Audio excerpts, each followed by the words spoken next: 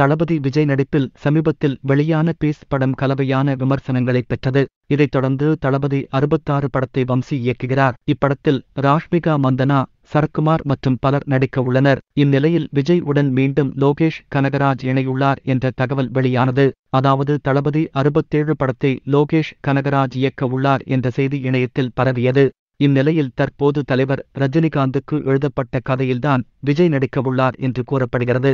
அப்போது லோகேஷ் கனகராஜ் ரஜினியை வைத்து படம் இயக்கியுள்ளார் என கூறப்பட்டது. மேலும் இப்படத்தை கமலஹாசன் தயாரிக்கிறார் என்றும் இப்படத்தில் சிறப்பு தோற்றத்தில் கமலும் நடிப்பார் என கூறப்பட்டது. இதனால் பல வருடங்களுக்குப் பிறகு கமல் ரஜினி இருவரும் ஒரே திரையில் பார்க்க ரசிகர்கள் ஆர்வமாக இருந்தனர்.